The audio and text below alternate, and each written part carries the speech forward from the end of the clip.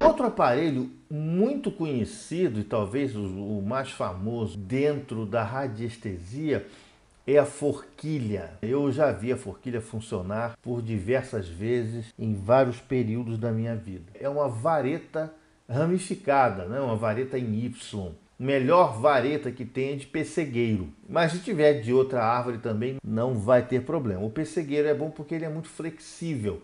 Diz aqui, de, em alguns livros, diz que pode ser de madeira, metal ou plástico. Eu gostaria que vocês evitassem qualquer industrializada. Madeira, metal, tudo bem, porque todos eles vieram da terra, então eles têm bastante comunicação com a mãe terra. Então é muito importante que não se use plástico, não se use nada industrializado no material radiestésico de vocês. Tá? Metal, madeira, é interessante, mas plástico não é legal. Como é que a gente faz? A gente pega essa vara, segura, conforme diz o diagrama ali, né? Segura com os dedões para cima, palmas da mão para o centro, segurar com a palma da mão para cima. Segurar firme e tentar fazer essa força com a vara né, para ela se abrir. E é claro, não fazendo força demais para não quebrar, mas fazendo uma pequena tensão na vara. Então a forquilha ela vai fazer um movimento para cima, esse ponto para cima é o ponto neutro dela, é o ponto que ela não vai aqui apontar nada. À medida que você vai caminhando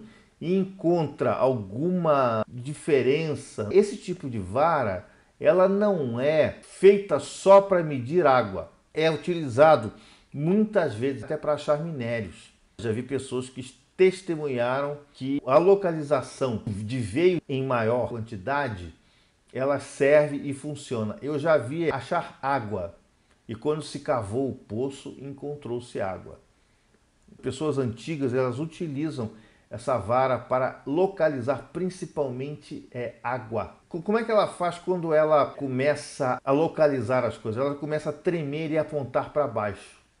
Ela começa a forçar a, a posição que você está fazendo para ela apontar para cima ela começa a forçar e apontar para baixo. Quando ela começa a apontar para baixo, começa a vibrar, começa a tremer, naquele local provavelmente tem água ou veio de algum minério, alguma coisa. Essa vara, ela não, não precisa de muita preparação, ela atua rapidamente e ela aponta aonde tem mesmo.